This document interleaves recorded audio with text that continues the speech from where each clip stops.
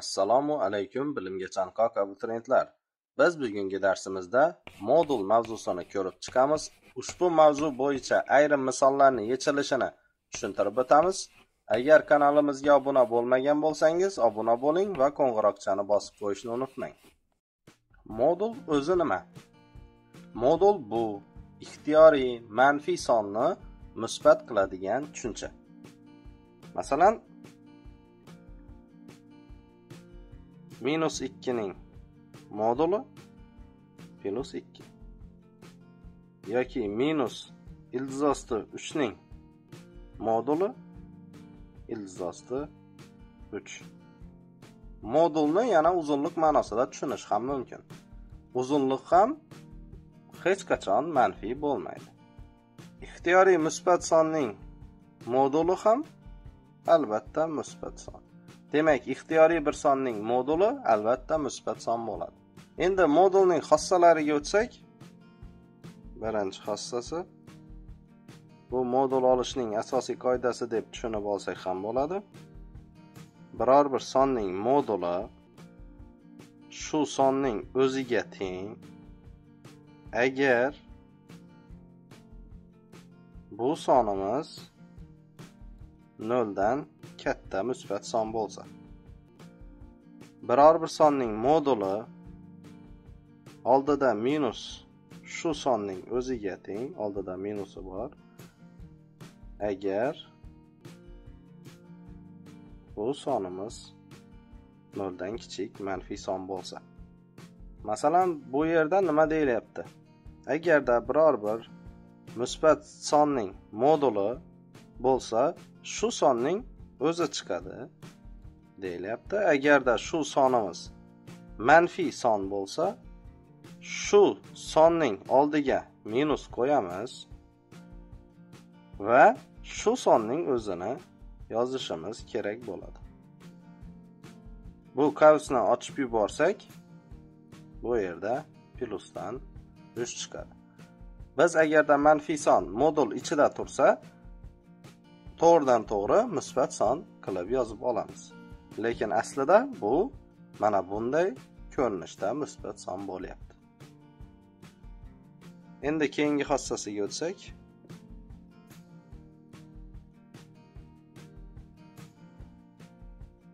Ikkita modulli son ko'payib tursa bularni ko'paytirib modul olganimizga teng bo'ladi.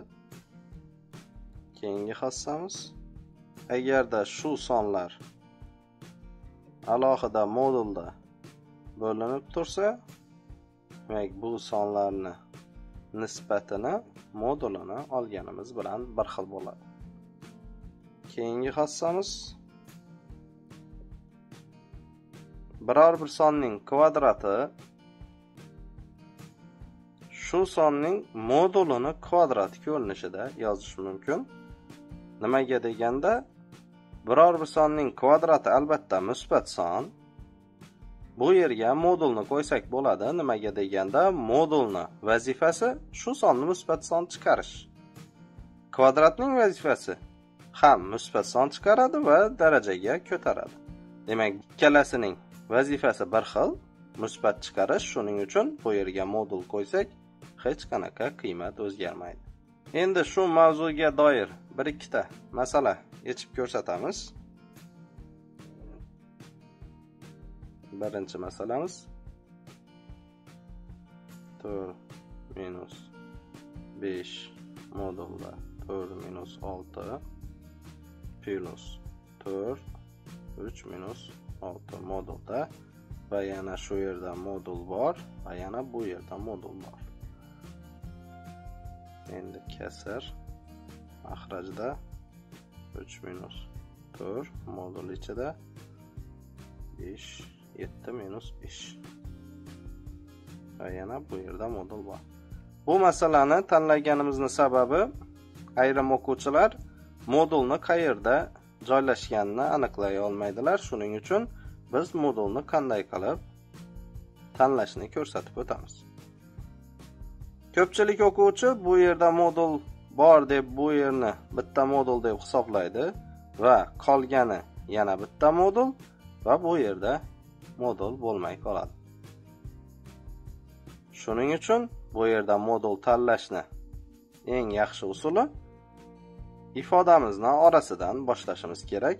Bu yerda mana bu bitta modul mana bu sonlarning ayirmasi va modulga bitta son ko'paytirilib turibdi.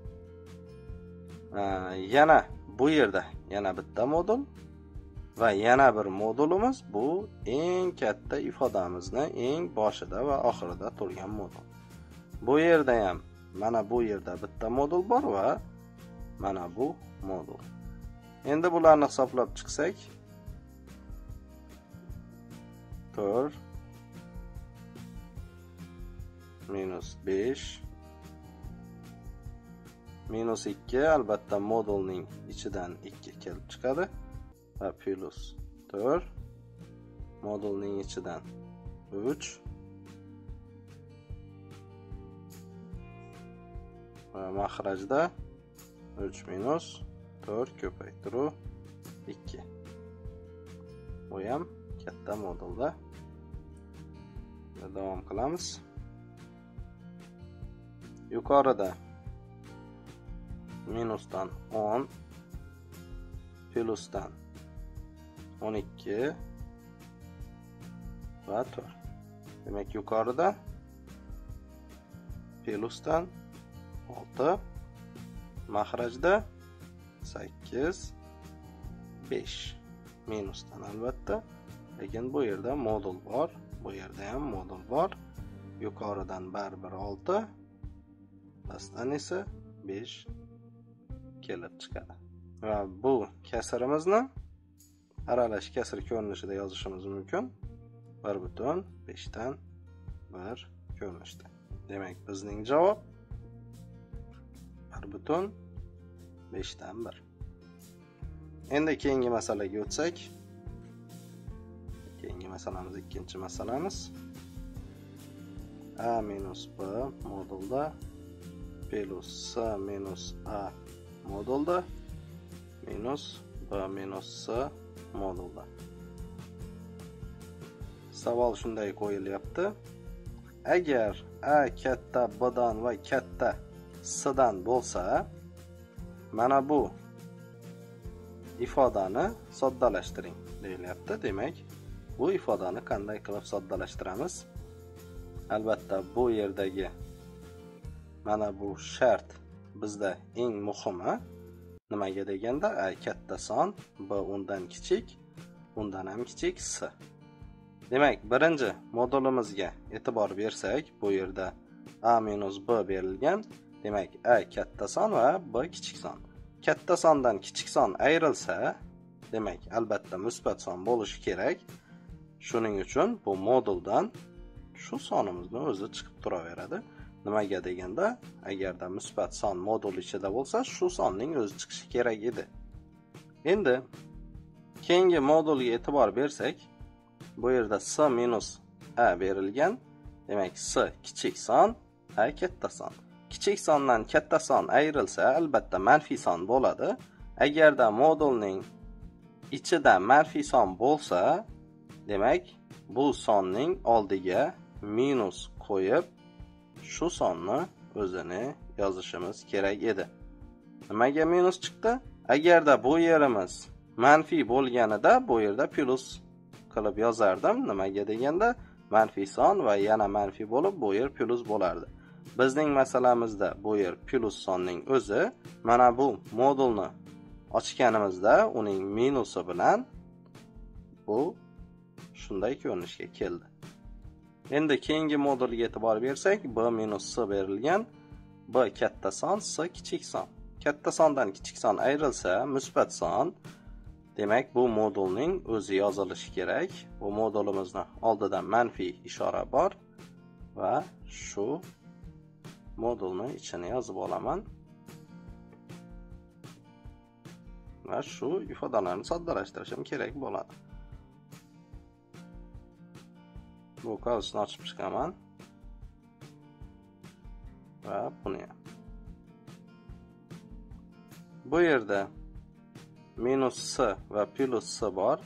Ular 0 bo'lib ketadi va plus a va yana plus a demak 2a minus b va yana minus b demak minus 2b demak bizning javob 2a minus 2b endi keyingi masalaga o'tsak.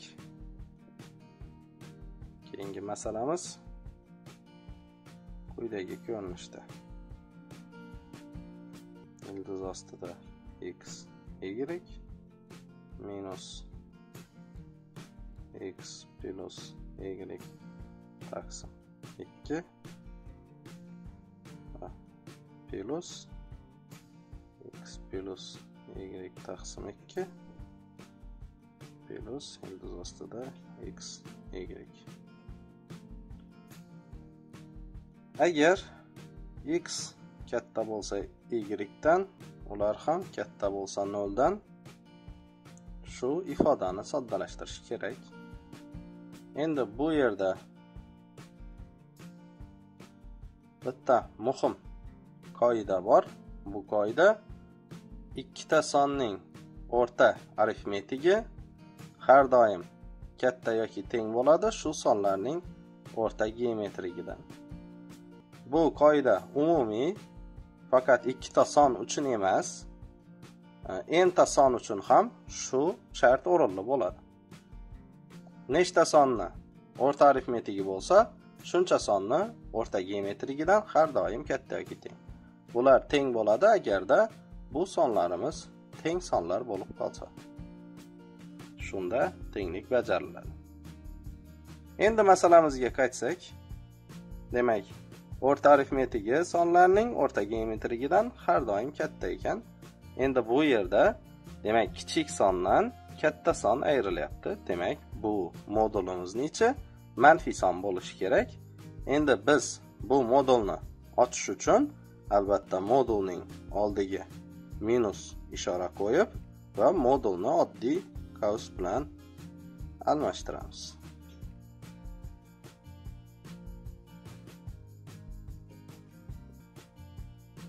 endi keyingi modulimizga e'tibor bersak bu ifodamiz ham musbat bu ifodamiz ham musbat. Musbat sonni musbat songa qo'shsak albatta musbat son shuning uchun bu modulni o'zi yoziladi.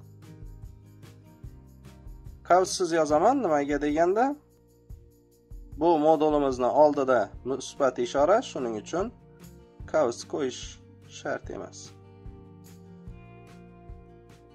Endi mana bu kavsni ochib chiqsak.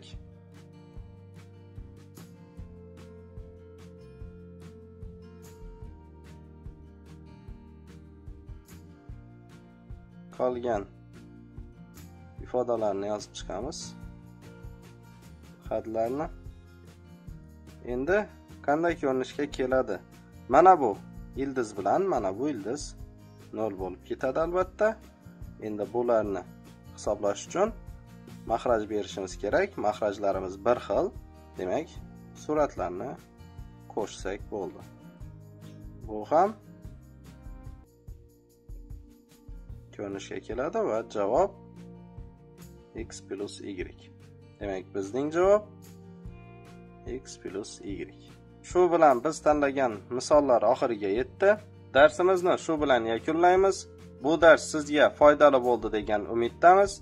Keyingi darslarimizda ko'rishguncha xayr sog' salomat bo'ling.